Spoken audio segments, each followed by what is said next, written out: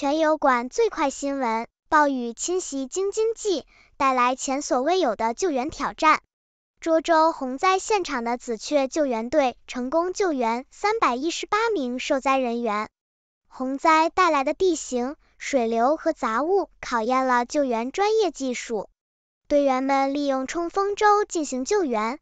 面对泥浆水中的障碍和伤害，他们需要准确判断水流方向，发力合理，并依靠丰富的经验化解各种危险。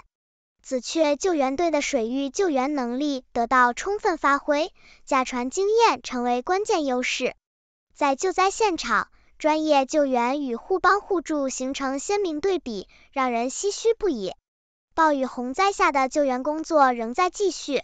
希望受灾地区能早日恢复正常。订阅新闻极速递，最先知晓天下事。